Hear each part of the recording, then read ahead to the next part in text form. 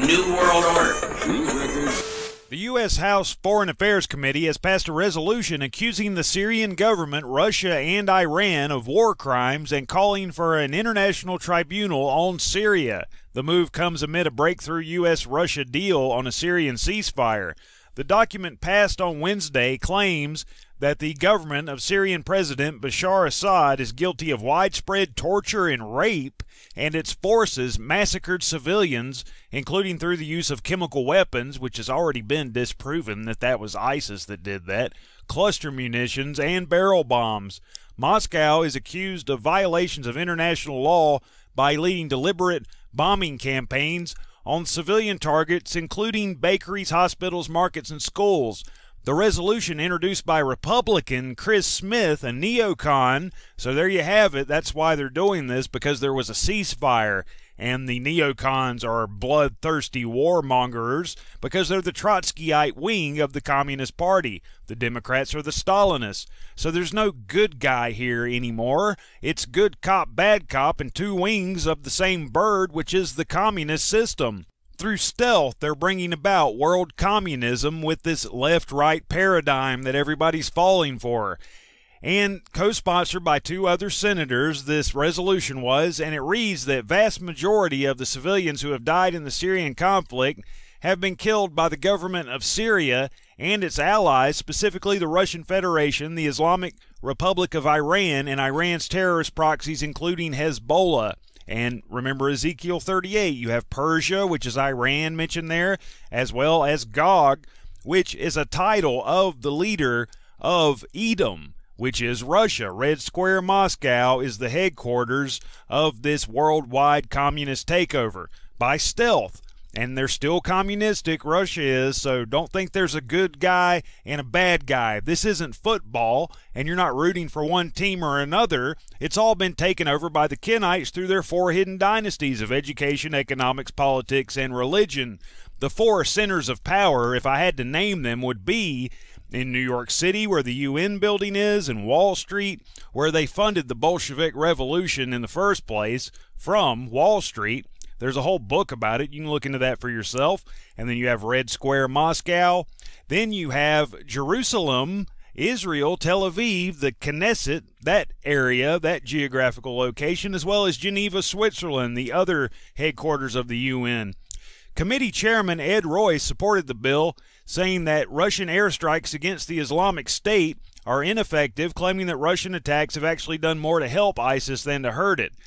And that's just not true. Again, I'm not on one side or the other here. It's the formulation of a one world system, and all the nations will be involved in that one world political system.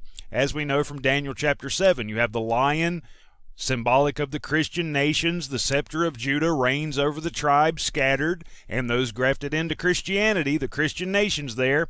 And then you have the bear, and that's the communistic as well as the non Christian Islamic nations the bear, and that's why Russia collaborates with Iran so much, as well as China, who are communistic, created by the Soviets.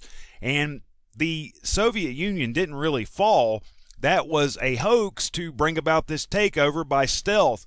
I have to remind you that the one world political system described in Revelation 13 has feet like the feet of a bear two feet, okay? And that's that left right paradigm. Don't fall for it. However, not all committee members welcome the resolution. Congressman Dana Rohrabacher said that the adoption of the text will be counterproductive to U.S. and Russian effort to fight ISIS militants and other extremists in Syria, and so on and so forth. You can read that for yourself. In a related story, also from Russian television, the Moscow beheading nanny was a mental patient, says she killed child in revenge for Syria airstrikes. What a coincidence that this would happen on the same week as this resolution brought about by the neocons, the Trotskyite wing of the Communist Party. And the Trotskyites and the Stalinists are in a battle to the death to outdo the other. But what is the goal of both of them? World communism. So whoever comes out on top the Kenites get their way, a one world political system that will emerge at the beginning of a five month period whenever Satan and his angels are cast out of heaven unto the earth,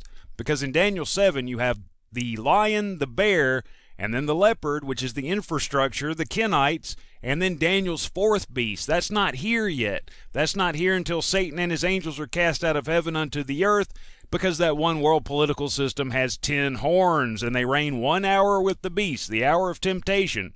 After that one world political system receives a deadly wound, Satan appears as Antichrist and heals the wound, as it's written in Revelation 13, and then it becomes a one world religious system. And after that five month period, and only after that five month period, the true Christ will return. Wait. Watch and learn.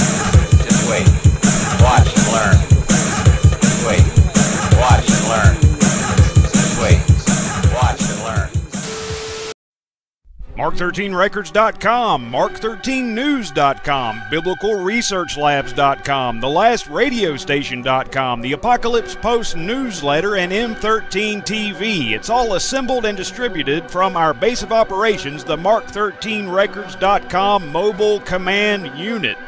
If we have helped you, and only if we have helped you, help us to help others by visiting our new Patreon page and joining the fight by taking part in spreading God's Word throughout a world of darkness. For a limited time, for any amount donation, you can request one of our custom made study guides while supplies last. 666, The New World Order and the Antichrist, The Seven Seals of the Apocalypse, The Daniel 11 Hypothesis, or The Beginning of the End. Now, more than ever, we need to sound that trumpet and warn the deceived masses of the coming hour of temptation, that five month period in which Satan will appear as Antichrist. And as Christ said in the last verse of Mark chapter 13, What I say unto you, I say unto all, watch.